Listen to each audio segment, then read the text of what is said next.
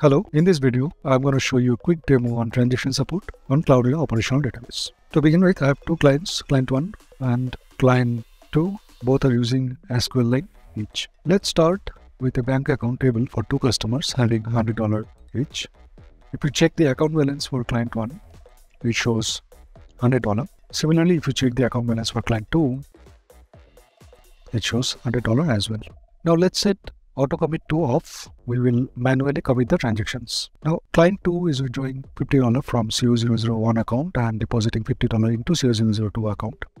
Client 1 is withdrawing $20 from CO002 account and depositing $20 into the CO001 account.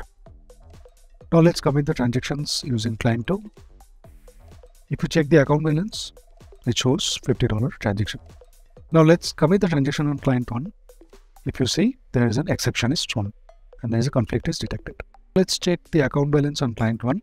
It still shows $50 transaction. Now, let's uh, use client 1 and we drop $10 from CO001 account and deposit $10 into the CO002 account.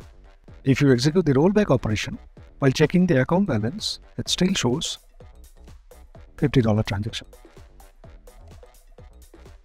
That's the end of the demo. For more information, please visit docs.cloudera.com. Thanks for watching.